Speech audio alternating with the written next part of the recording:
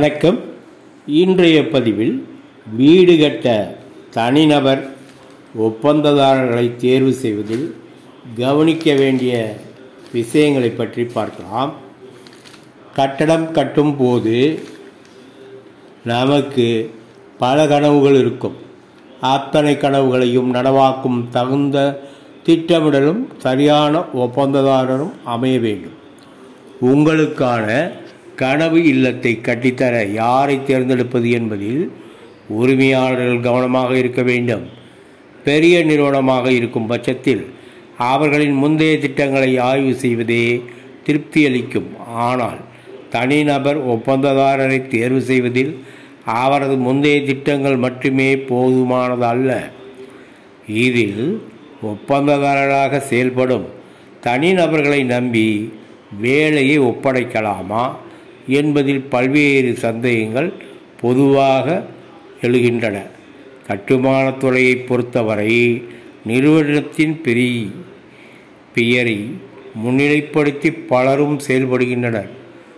வணிக ரீதியில் இத்தகைய நிறுவனங்கள் பல்வேறு விஷயங்களில் பொறுப்புணர்வுடன் செயல்படுகின்றன. ஆனால் நிறுவன பெயரின்றி தனிநபர்கள் பேரில் வீடு கட்டும் வேலையை ஒப்படைப்பதில் பலருக்கும் கசப்பான அனுபவங்கள் உள்ளன. எனினும் பல இடங்களில் பெரிய நிறுவனம் என்று இல்லாமல் தனிநபர்களாக வீடு கட்டுபவர்கள் சிவில் பெரியாளர்களாக இருந்தால் பரவாயில்லை. இத்தகைய நபர்கள் தொழில்நுட்ப ரீதியாக பொறுப்புணர்வுடன் செயல்பட்டு கட்டுமான பணிகளை முடிப்பர். அவர்களின் முந்தைய கட்டுமான பணி எத்தனை லட்சம் வரை செய்திருக்கிறார்? நம் பணியின் பட்ஜெட் எவ்வளவு என்பதையும் கருத்தில் கொள்ள வேண்டும்.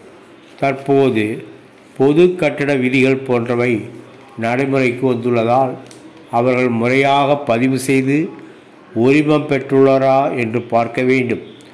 உரிமம் பெறாத நபர்களிடம் வீடு கட்டும் பொறுப்பை ஒப்படைப்பதில் ஏற்படும் இழப்பீடுகளுக்கு நிவாரணம் பெற முடியாது. ஆனால் பொறியாளராக இல்லாமல் கட்டுமான திட்டங்களை செயல்படுத்த வரும் தனிநபர்கள் விஷயத்தில் உரிமையாளர்கள் கவனமாக இருக்க வேண்டும். அவர்கள் பதிவு செய்த நிறுவனமாக உதவியாளர்கள் வரைபட நிபுணர்கள் கொண்ட ஒரு அலுவலகமாக இருந்தால் அவசியம்.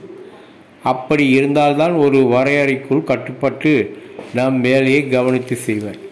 உள்ளூர் அரசியல் செல்வாக்கு மட்டுமே அடையாளமாக வைத்து கட்டுமான திட்டங்களை செயல்படுத்துவோரிடம் கவனமாக இருக்க வேண்டும்.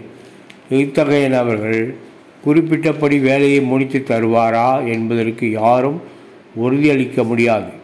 பாதியில் திட்டம் நிறுத்தப்பட்டால் இவர்கள் மீது அரசு அமைப்புகளில் புகார் அளிக்கவும் முடியாது.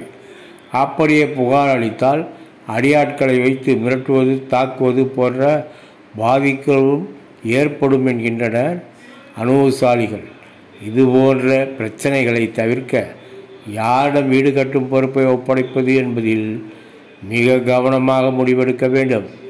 இத்துடன் உங்களுக்கான வீடு கட்டும் ஒப்பந்ததாரர் அதே பகுதியை சேர்ந்தவராக இருப்பது மிக்க நல்லது.